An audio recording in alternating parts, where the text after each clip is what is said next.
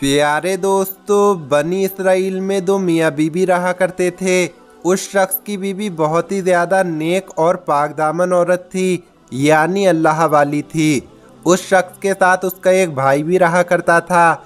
एक बार वो शख्स सफ़र पर जाने लगा तो अपने भाई से उसने वादा लिया कि तुम मेरी नेक परहेजगार बीवी की देखभाल करोगे। उसने हाँ में सिर हिलाया और इकरार कर लिया। यकीन दिलाते हुए कहा, भाईजान, आप बेफिक्र होकर सफ़र पर रवाना हो जाएँ। आपको किसी किस्म की कोई शिकायत ना होगी।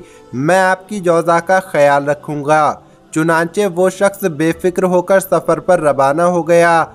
वो अल्लाह वाली, अल्लाह से डरने वाली औरत थी। एक दिन उसके शौहर का भाई उसके पास आया। उसके हुस्न जमाल को देखकर उसकी आँखों पर गफलत का पर्दा डल गया।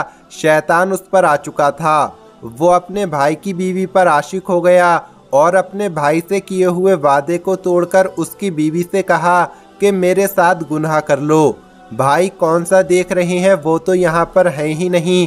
मेरे साथ मिलकर जिनाकारी करो।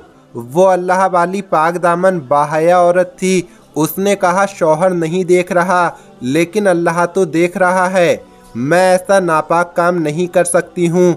जब वो अपनी कोशिश में नाकाम होने लगा तो धमकी देते हुए कहा, अगर तुमने मेरी बात ना मानी तो मैं तुम्हें हलाक कर दूँगा।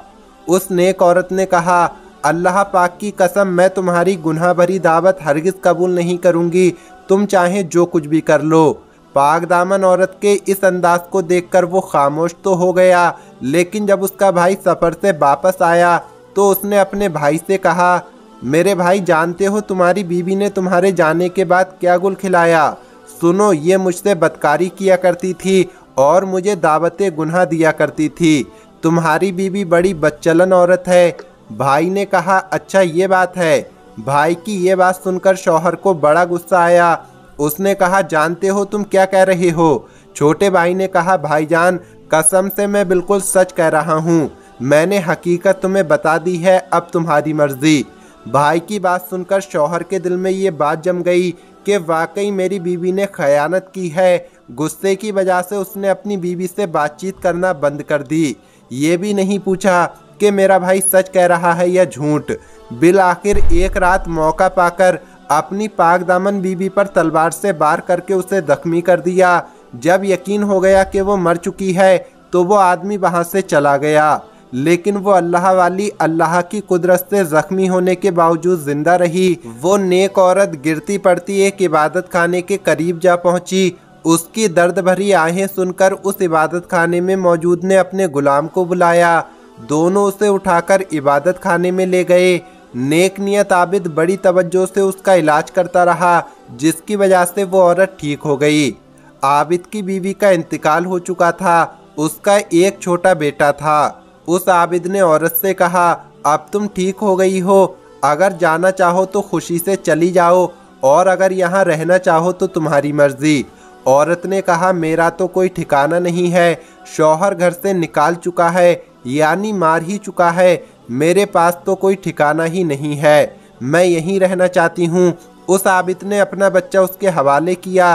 वो नेक औरत मोहब्बत से उस बच्चे की परवरिश करने लगी। आबिद का जो गुलाम था उस औरत के हुस्न को देखकर उसकी नीयत भी ख़राब हो गई। वो भी उसके साथ गुनाह का इरादा करने लगा और वो मौके की तलाश में रहने लगा।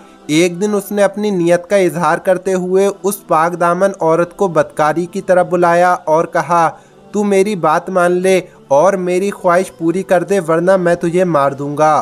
खौफ खुदा रखने वाली उस नेक औरत ने कहा, मैं हरगिज़ तेरी बात नहीं मानूँगी। तुझे जो करना है कर ले बदकार गुलाम अपनी नाकामी पर रोता हुआ दिल में नफरत लिए वहाँ से चला गया कि इस औरत का काम तमाम कर दूँगा। रात में हर तरफ़ जब रात का अंधेरा छा गया तो वो गुलाम औरत के पास आया। बच्चा उसकी गोद में रो रहा था और वो उसे बहला रही थी। जालिम गुलाम ने तेज़ी से उस बच्चे पर हमला किया और उसकी गर्दन को काट दिया। चंद ही लम्हों में बच्चे ने तड़प तड़प कर जान दे दी। गुलाम दौड़कर आबिद के पास गया और कहा, हुजूर, क्या आप जानते हैं आपकी उस मेहमान औरत ने क्या कारनामा किया है? क्या आपको मालूम है उसने आपके बच्चे के साथ क्या सलूक किया है? आपने उस पर एहसान किया, लेकिन उसने आपके बच्चे के साथ बहुत बुरा सलूक किया। आबिद गुलाम की बात सुनकर बहुत हैरान और परेशान हुआ और कहा, बता तो सही उसने मेरे बच्चे के साथ क्या किया है? गुलाम ने कहा, हुजूर उसने आपके लाडले बच्चे को ज़िबा कर डाला है। अगर यकीन नहीं आता तो चलकर खुद अपनी आँखों से देख लो। वो आबिद दौड़ता हुआ वहाँ पहुँचा तो देखा, वाकई बच्चे का गला कटा हुआ है और उसका जिस्म खून में लथपथ है। उस आबिद ने उस औरत से कहा कि मेरे बच्चे का तुमने ये क्या कर दिया? उसने कहा, मैंने उसके साथ कुछ नहीं किया, बल्कि आपके इस गुलाम ने मुझे गुनाह की दावत दी। जब मैंने इनकार किया तो इसने बच्चे को कत्ल कर दिया। मैं इस मामले में बिल्कुल बेकसूर हूँ, मुझ पर यह इल्ज़ाम लगा रहा है। उस आबिद ने कहा, ए अल्लाह की बंदी, तूने अपने मामले में मुझे शक में मुबतला कर दिया है। मैं नहीं चाहता कि अब तू मेरे साथ रहे। ये पचास दीनार ले और यहाँ से चली जा। ये दीनार तेरी ज़रूरियात में काम आएँगे। औरत ने पचास दिनार लिए और अल्लाह की रहमत से उम्मीद लगाए अनदेखी मंजिल की तरफ़ चल दी। एक बस्ती के करीब से गुजरी तो देखा मजमा लगा हुआ है, यानी लोगों की भीड़ है और एक शख्स को फांसी देने के लिए लाया जा रहा है। बस्ती का सरदार भी वहीं पर मौजूद था। औरत सरदार के पास आई और कहा, क्या ऐसा हो सकता है कि तुम मुझसे पचास दिनार ले लो और इस शख्स को आज़ाद कर दो? सरदार ने कहा, वो क्यों? उसने कहा, बस यूँ ही। बस्ती के सरदार ने कहा, लाओ रकम मेरे हवाले करो। औरत ने वो पचास दिनार उस बस्ती के सरदार को दे दिए। बस्ती के सरदार ने कैदी को रिहा कर दिया। वो कैदी उस पाक दामन औरत के पास आया और कहा, मेरी जान बचाकर तूने एहसान किया है। आज तक किसी ने मुझ पर ऐसा एहसान नहीं किया। अब मैं तेरी खिदमत करूँगा। यहाँ तक कि मौत हमारे दरमियान जुदाई कर दे। चुनाचे वो शख्स उस औरत को लेकर समुंदर पर पहुँचा। कश्ती चलने को थी। वो दोनों कश्ती में सवार हो गए। औरत बेहद ही हसीन थी। उसका हुस्न जमाल देखकर सारे मुसाफिर हैरान रह गए। वो औरतों वाले हिस्से में आकर बैठ गई। लोगों ने कैदी से कहा, ये हसीन जमील औरत कौन है? उस आदमी ने उस एहसान फरामोश ने ये नहीं कहा कि इस औरत ने मेरी जान बचाई है। बल्कि उसने कहा, ये मेरी कनीज़ है, मैंने पैसे देकर इसे ख़रीदा है। कश्ती में मौजूद एक शख्स, जो उस औरत के हुस्न में गिरफ़्तार हो चुका था, उसने कहा, क्या तुम अपनी कनीज़ को फ़रोख्त करोगे? उसने कहा, मैं इसे बेचना नहीं चाहता, क्योंकि ये मुझसे बहुत ज़्यादा मोहब्बत करती है। जब इसे मालूम होगा कि मैंने इसे बेच दिया है तो इससे मेरी तरफ़ से बहुत तकलीफ़ पहुंचेगी। इसने मुझसे वादा लिया है कि मैं इसे नहीं बेचूँगा। मुसाफिर ने कहा, तुम मुझसे मुँह मांगी रकम ले ले और खामोशी से चला जा। तुझे क्या ज़रूरत है कि तू इसे बचाए? लालची और एहसान फरामोश धोखेबाज कैदी ने माल के बवाल में फंसकर मुसाफिर से बहुत सारा माल लिया और कश्ती से खामोशी से उतर गया। उस मुसाफिर ने उस कश्ती में मौजूद तमाम मुसाफिरों से कह दिया कि मैंने इस औरत को ख़रीदा है। अब कोई भी मुझ पर बिला वजह इल्ज़ाम नहीं लगाएगा।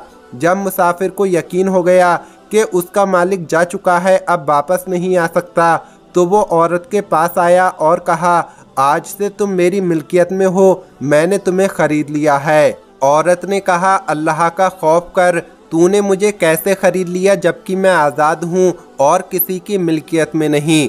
मुसाफिर ने कहा, इन बातों को छोड़, तेरा मालिक तुझे बेचकर यहाँ से जा चुका है। अब ना तो तू अपने मालिक के पास जा सकती है और ना ही वो रकम वापस कर सकती है, जो तेरे मालिक ने मुझसे ली है। मैंने बहुत सारा माल देकर तुझे ख़रीदा है और तमाम मुसाफिर इस पर गवाह हैं। अगर यकीन नहीं आता तो इनसे पूछ ले। मुसाफिरों ने कहा, इसने वाकई तुझे ख़रीदा है। हम सब इस बात पर गवाह हैं। पाक दामन औरत ने कहा, तुम्हारा बेड़ा गर्क हो। अल्लाह पाक से डरो। अल्लाह की कसम मैं आज़ाद हूँ। आज तक कभी कोई मेरा मालिक नहीं बना। मैं किसी की कनीज़ नहीं, जो कोई मुझे बेचेगा। इस मामले में अल्लाह से डरो। लोगों ने उस मुसाफिर से कहा, ये इस तरह बाज नहीं आएगी। इसके साथ जो सलूक करना है, कर डाल। खुद ही मान जाएगी। ये सुनकर मुसाफिर उसकी तरफ़ बढ़ा। जब उस औरत को अपनी इज़्ज़त का खतरा महसूस हुआ तो उसने कश्ती वालों के लिए बदुआ की। अचानक कश्ती उन सबको लेकर डूब गई। सबके सब गर्क हो गए और कश्ती के तख्ते पर औरत के अलावा कोई भी ना बच सका। उस मुल्क का बादशाह अपने लोगों के साथ साहिल समंदर पर आया हुआ था।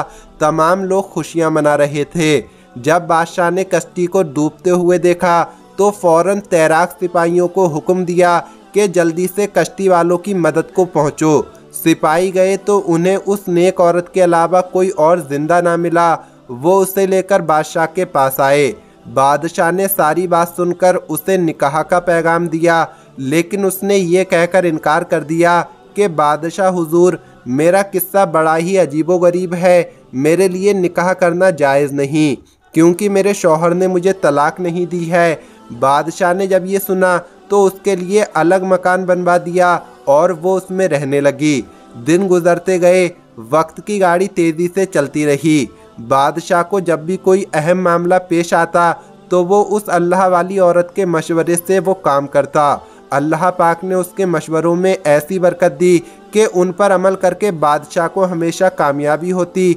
अब बादशाह के नज़दीक वो पाकदामन औरत बहुत ही ज़्यादा अजीम हो चुकी थी। जब बादशाह की मौत का वक्त करीब आया तो उसने अपने वजीरों, मुशीरों और रियाया को जमा करके कहा ए लोगो, तुमने मुझे कैसा पाया? मैं चाहता हूँ अपने बाद इस नेक सीरत औरत को तुम पर मलिका मुकर्र कर दूँ। बादशाह के हुक्म पर लब्बैक कहते हुए सबने कहा, बादशाह सलामत जैसा आप चाहते हैं इन वैसा ही होगा। चुनाचे बादशाह ने उस पाक दामन औरत के हवाले पूरे मुल्क की सल्तनत की और बादशाह का इंतकाल हो गया। उसने मलिका बनते ही ये ऐलान कर दिया कि पूरे मुल्क के लोग बैत के लिए जमा हो जाएँ हुक्म मिलते ही मुल्क के गोशे गोशे से लोग नए बादशाह, यानी नई मलका की बैत के लिए जमा हो गए। बैत का सिलसिला शुरू हुआ। जब उसके शौहर और उसका भाई आए तो हुक्म दिया कि इन दोनों को अलग खड़ा कर दिया जाए। फिर वो शख्स आया जिसे फांसी दी जा रही थी और जिसने उस नेक औरत को बेच दिया था। मलिका ने हुक्म दिया, इसे भी इन दोनों से अलग खड़ा कर दो। फिर नेक सीरत आबिद और उसका बदकिरदार गुलाम आए। तो उन्हें भी लोगों से अलग कर दिया गया। जब तमाम लोग उसके बैत ले चुके तो मलिका ने उन पाँचों को अपने पास बुलाया और अपने शौहर से कहा, क्या तुम मुझे पहचानते हो? उसने कहा, आप हमारी मलिका हो। पागदामन औरत ने कहा, मैं तुम्हारी बीबी हूँ। सुनो तुम्हारे बदकिरदार भाई ने मेरे साथ कैसा बुरा सलूक किया। ये कहकर उसने सारा वाक्य सुना दिया। मैं आज भी पाक दामन और महफूज हूँ। अब बताओ तुम्हारे इस बदकिरदार भाई के साथ क्या किया जाए? उसके शौहर ने कहा, इसे फांसी दे दो, मेरे सामने फांसी दो। उसके कहने पर उसे फांसी का हुक्म दिया गया। फिर आबिद के पास आकर उसने कहा, अगर आपकी कोई हाजत हो तो बताओ। मैं वही औरत हूँ जो आपके पास जख्मी हालत में आई थी। आपके बेटे को दरअसल मैंने नहीं, बल्कि इस जालिम गुलाम ने कत्ल किया है। और मुझ पर बदकिरदारी का इल्ज़ाम लगाया है। आप क्या चाहते हैं? उस आबिद ने कहा, इसको भी फांसी दी जाए। उस आबिद के कहने पर उस गुलाम को कत्ल करवा दिया गया। अब उस शख्स की बारी थी जिसे फांसी दी जा रही थी और मलका ने उसे बचाया था। जब वो आया तो उसे भी कत्ल कर दिया गया और उसकी लाश चौराहे पर लटका दी गई। और यूँ वो सब अपने अंजाम को पहुँच गए। बाहया पाक दामन औरत ने अल्लाह वाली ने हर वक्त अपनी इज़्ज़त की हिफाजत की। अहकाम खुदाबंदी को पेश नज़र रखा और सब्र से काम लिया। आज उसे ताजो तख्त और इज़्ज़त और अजमत की दौलत मैसर थी। इसी तरह वो सल्तनत को चलाती रही और नेक नामी की हालत में इस दुनिया से गई। दोस्तों, ये वीडियो आपको कैसी लगी कमेंट बॉक्स में ज़रूर बताएँ। मिलेंगे अगली वीडियो में। अल्लाह हाफिज़।